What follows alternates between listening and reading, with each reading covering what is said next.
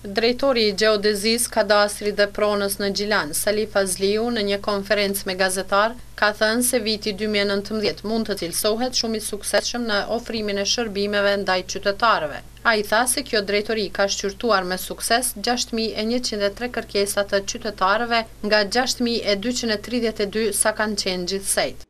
Drejtoria për Gjeodezi, Katastër dhe Pronë gjatë vitit dy mijë e nëntëmbëdhjetë e ka kryer duke i kryer këto punë dhe aktivitete si në vijim. Domethënë për marrjen e shërbimeve lidhur me regjistrimin e të drejtave pronësore, intabulimin e hipotekave bankare,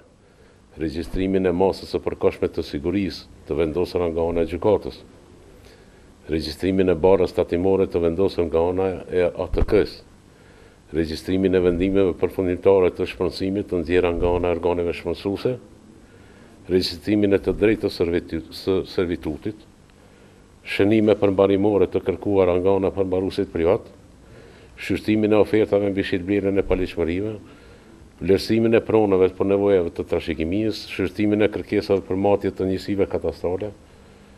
parcelime, ndarje të parcelave, dhënia e vektorëve të parcelave, kryerja e identifikimeve të njësive kadastrale. Ndërkaq sipas Fazliut, një punë e jashtëzakonshme është në pajisjen e qytetarëve me dokumentacionin kadastral, siç janë certifikatat e pronës, të gjendjes ekonomike dhe kopjet e planit.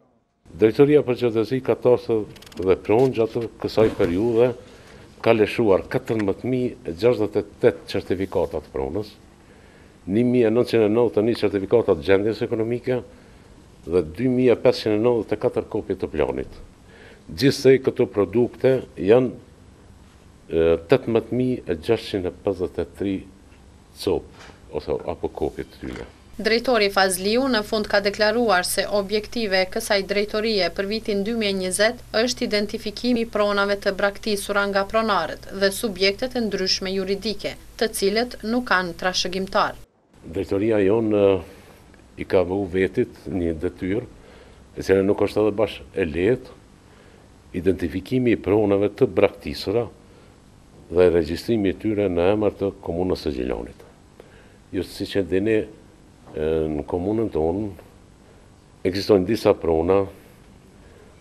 të cilat evidentohen në emër të subjekteve